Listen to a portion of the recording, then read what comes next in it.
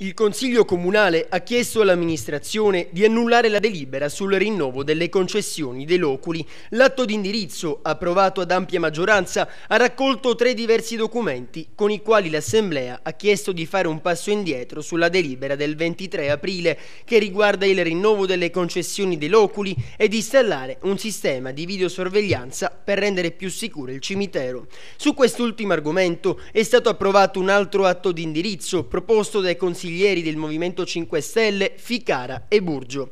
Sono stati tre i punti dedicati al cimitero. Chiara Ficara e Francesco Burgio hanno chiesto all'amministrazione di approntare, a seguito degli atti vandalici dei mesi scorsi, un piano di controlli, ricorrendo anche a un sistema di videocamere e cancelli di accesso.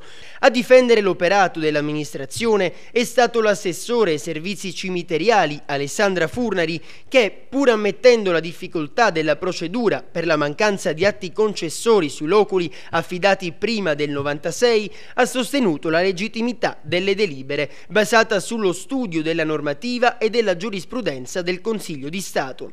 Non c'è, ha detto, da parte del Comune alcun atteggiamento vessatorio, poiché è stato sempre detto che non ci saranno estumulazioni in danno di chi non paga se prima non saranno contattati gli eredi.